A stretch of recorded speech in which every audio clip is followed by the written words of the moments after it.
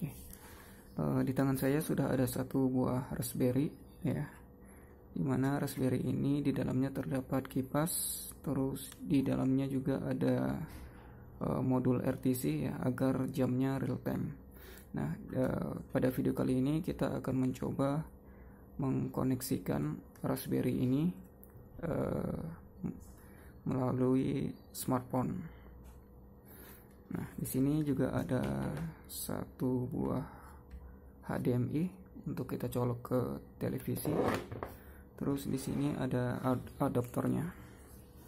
Oke, pertama kita akan coba colok dulu ke powernya. Terus di sini ada HDMI. Oke. Sebentar.